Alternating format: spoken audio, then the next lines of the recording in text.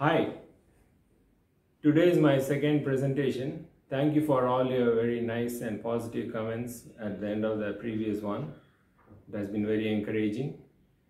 Today morning, the newspapers were full of so much about remdesivir not being available and that it was being sold in the black market.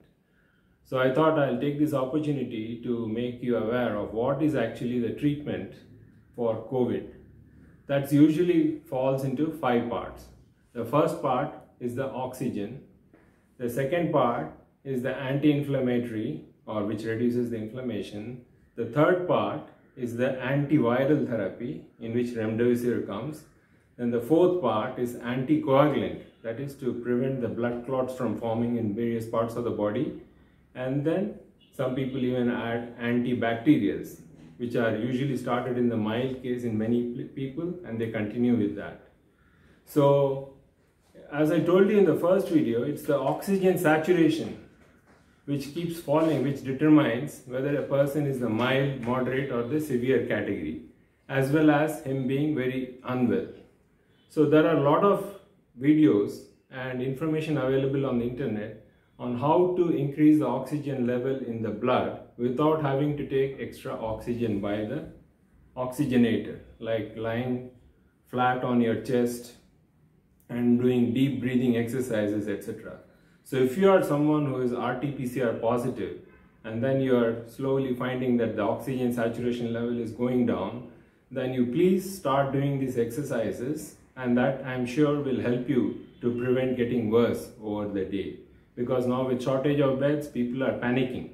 So I think uh, that would be the first suggestion that I would make that you do prone breathing exercises.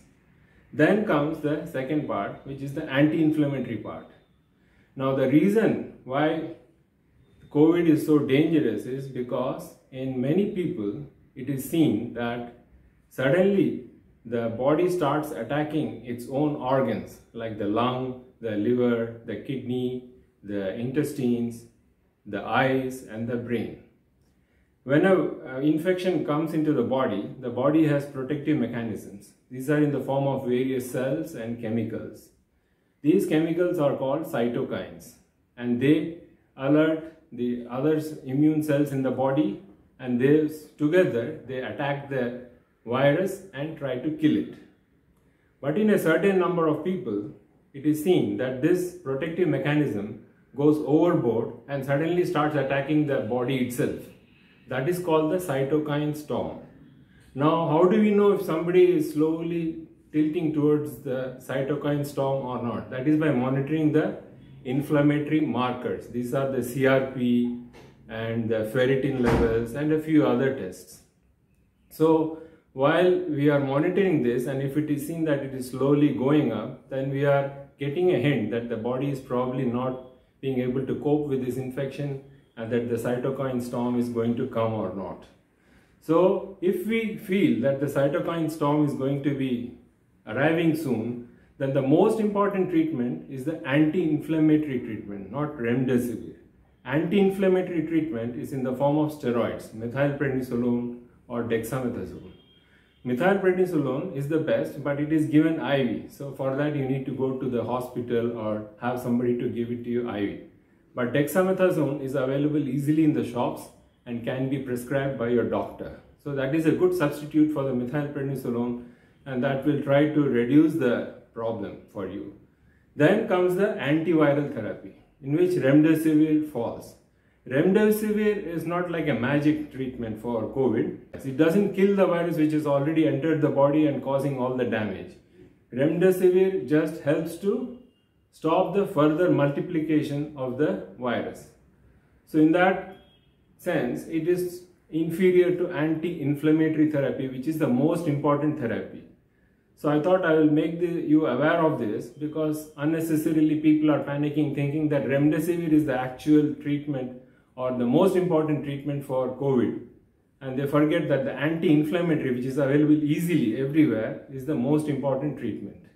And the prone breathing exercises for improving the oxygenation, which is continued in hospital, is also something that can be done easily in the house. Then comes the anti-thrombotic, which is to prevent coagulation and then the antibacterial treatment and various other things, flu, etc. etc. So please remember that oxygenation and your general health is the most important criteria. You can do many things to improve the oxygenation in the home. You don't have to worry about remdesivir because if you can keep your oxygenation level up without needing any external help, I think you will be always in the mild category and all other problems can be taken care of. And then comes the, if somebody is getting slowly worse, then they need anti-inflammatory therapy started urgently. So that is the steroids. And then comes the uh, other medications. So please remember all this, try all the things that you can at home and be safe and be healthy. Thank you.